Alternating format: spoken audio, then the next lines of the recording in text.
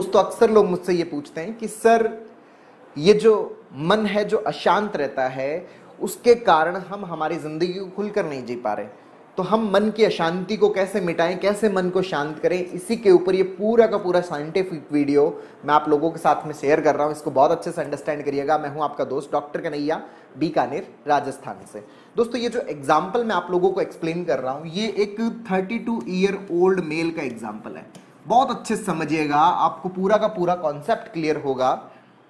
Basically ये जो व्यक्ति है, ये ऑनलाइन गेमिंग के थ्रू पैसा कमाते हैं। ये जो अपना काम करते हैं, ये ऑनलाइन गेमिंग के थ्रू करते हैं। अच्छा पिछले कई टाइम से जब ये ऑनलाइन गेमिंग कर रहे हैं तो उससे इनको बहुत अच्छी सी इनकम हो रही थी।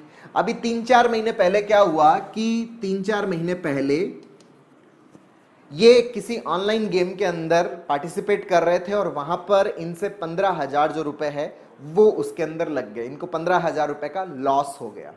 अब जैसे ये लॉस हुआ लॉस जो है, ये क्या है? अनएक्सपेक्टेड है। एक्सपेक्टेड क्या होता है? एक्सपेक्टेड ये होता है कि पैसा आए, कमाई हो, ये तो है एक्सपेक्टेड और पैसा जा रहा है लॉस हो रहा है, ये क्या है? अनएक्सपेक्टेड है। ज़िंदगी में जब भी कोई चीज़ एक्सपेक्टेड होती है तो उससे हमें कोई प्रॉब्लम नहीं होती। अगर हमारी एक्सपेक्टेशंस के अकॉर्डिंग हो रहा है, हम कहीं पर जा रहे हैं, वहाँ पे लोग हमें वेटेज दे, लोग हमारे बारे में बातचीत करें, हमारा बिज़नेस बहुत अच्छे से चले, खूब सारा पैसा आए, खूब सारी प्रसिद्धि हो, खूब सारी हम जो लाइफ को एंजॉय करने के जो भी तरीके हैं, वो सारे के सारे हमें मिले। अगर ये सारे एक्सपेक्टेशंस के अकॉर्डिंग हो रहे हो तो हर इंसान को अच्छा लगता है। तो एक्सपेक्टेड अगर कहीं पे हो रहा हो, तब कोई भी प्रॉब्लम क्रिएट नहीं होती। प्रॉब्लम कहाँ क्रिएट होती? प्रॉब्लम होती है जहाँ पर चीज़ें अनएक्सपेक्टेड हो। अब ये चीज़ इनके साथ में क्या थी? अनएक्सपेक्टेड थी। अब इस अनएक्सपेक्टेड को अगर हम कैसे डील कर रहे हैं, उस बात पर डिपेंड करेगा कि हमारा जो मन है, वो शांत होगा या हमारा मन अशांत होगा। अब इन्होंने जो एक्सप्लेन करने का तरीका ढूंढा, इन्होंने ये तरीका ढूंढा कि ये अपने आप को लगातार कहे जा रहे हैं कि मेरे साथ में ऐसे कैसे हो गया? मैं तो बहुत ज़्यादा इंटेलिजेंट हूँ, मैं तो बहुत ज़्यादा क्लेवर हूँ, मैं बहुत ज़्यादा चतुर हूँ।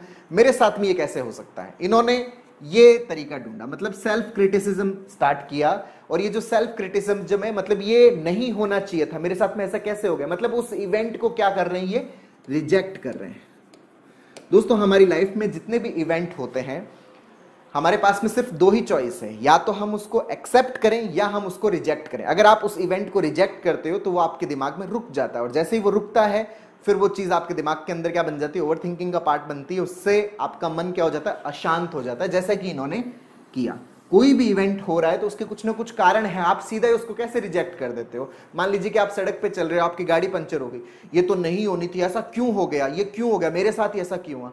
हम उस इवेंट को क्या कर रहे हैं? रिजेक्ट कर रहे हैं। जबकि हमें वहाँ पे क्या करना होता है, उसको एक्सेप्ट करना होता है कि ठीक है, पंचर भी कांटा होगा, पत्थर होगा, लग गया होगा। अच्छा लग गया होगा, इसके कारण पंचर हो गया होगा। अब क्या करना है? अब किसी मिस्त्री को बुलाना है, पंचर लगवाना है। यह है उसको एक्सेप्ट करने का तरीका। जब आप उसको एक्सेप्ट करते हो तो वो चीज़ आपके दिमाग से निकल जाती है और आपका मन क्या हो जाता है? शांत हो जाता है। अब यहाँ पर जो इनको लॉस हुआ, दोस्तों, इस चीज़ को कैसे हम एक्सेप्ट करें? इसको समझने का तरीका है, वो बहुत अच्छे समझिएगा। किस तरह से हम इसको एक्सप्लेन करते हैं? दोस्तों, हम बेसिकली ज़िंदगी के अंदर दो ही काम कर रहे होते हैं। एक तो हम, हमारी जो सीखी हुई स्किल है, उसको यूटिलाइज कर रहे होते हैं और दूसरा हम स्किल सीख रहे होते हैं। जब हम स्किल सीख रहे होते हैं, तब हम कुछ ना कुछ फ़ीस पे करते हैं। जैसे आप स्कूल में जाते हो तो वहाँ पर स्कूल के अंदर जो एजुकेशन की स्किल आप सीखते हो तो उसके लिए आप क्या पे करते हो? फ़ीस पे करते हो। आप ड्राइविंग सीख रहे हो तो उसके लिए आप फ़ीस पे करते हो। आप कोई म्यूज़िक सीख रहे होते हो, उसके लिए कोई फ़ीस पे करते हो। आप कोई बिज़नेस का गुण सीखना है तो उसके लिए भी आप क्या करते हो? कुछ ना कुछ कंसल्टेंट को फ़ीस पे करते हो। मतलब कोई ना कोई चीज़ जब आप अपनी ज़िंदगी में सीखते हो तो सीखे हुए के लिए हम क्या करते हैं? पे करते हैं। और जब हम हमारी स्किल्स को यूटिलाइज कर रहे होते हैं मतलब हम जब दूसरों को सिखा रहे होते हैं तो हम क्या करते हैं? पैसा अर्न करते हैं। हम हमारी लाइफ के अंदर क्वालिटीज को क्या करते हैं? अर्न करते हैं। तो हम दो ही चीज़ें कर रहे होते हैं। तो दोस्तों, ज़िंदगी में जब आप कमा रहे होते हो, इसका मतलब आप अपनी स्किल्स को यूटिलाइज कर रहे होते हो, और ज़िंदगी में जब आपको लॉसेस लग रहे होते हैं, इसका मतलब लाइफ आपसे क्या ले रही है? फ़ीस ले रही है। किसके एवज में? वो स्किल सीखने के एवज में जो आपके पास में नहीं है। यहाँ पर जो इनके साथ में फ्रॉड हुआ, इनके पास में उस फ्रॉड को आइडेंटिफाई करने की स्किल नहीं थी कि किस प्रकार से जो ऑनलाइन फ्रॉड होता है वो ऑनलाइन फ्रॉड क्या है, किस तरह से होता है, उसको कैसे पहचानना ये स्किल इनके पास में नहीं थी। इसलिए यहाँ पर इनका जो नुकसान हुआ, वो पंद्रह हज़ार का नुकसान किस फॉर्म में था? उस फ्रॉड को पहचानने के फॉर्म में। मतलब फ्यूचर में अगर इनके साथ में कभी भी पंद्रह हज़ार का अगर इस तरह का फ्रॉड होगा, इस तरह का ऑनलाइन फ्रॉड होगा तो ये आराम से उसको क्या कर सकते हैं, आप आइडेंटिफाई कर सकते हैं। मतलब फ्यूचर में इस तरह की चीज़ नहीं होगी। क्यों? क्योंकि इनके अंदर स्किल आ चुकी है। एक्सपीरियंस डेवलप हो चुका है। दोस्तों, हमारे साथ में अक्सर ऐसा होता है कि ज़िंदगी के अंदर बहुत सारे ऐसे किस्से हो जाते हैं जिसमें हमारे पैसे का नुकसान हो जाता है, हमारे टाइम का नुकसान हो जाता है, हमारे एनर्जी का नुकसान हो जाता है, हमारे रिसोर्सेज का नुकसान होता है। बेसिकली वो नुकसान नहीं है। हमारे अंदर एक स्किल डेवलप होती है, एक एक्सपीरियंस डेवलप होता है, जो एक्सपीरियंस हमारे थ्रू आउट द लाइफ काम आता है। अगर आप उसको नुकसान नुकसान नुकसान बोलते रहते हो तो वो चीज़ें आपके दिमाग में रुकी हुई रहती है। अगर आप ये कहते हो कि नहीं, ये गेन था, किस चीज़ का? एक्सपीरियंस का स्किल्स का गेन था।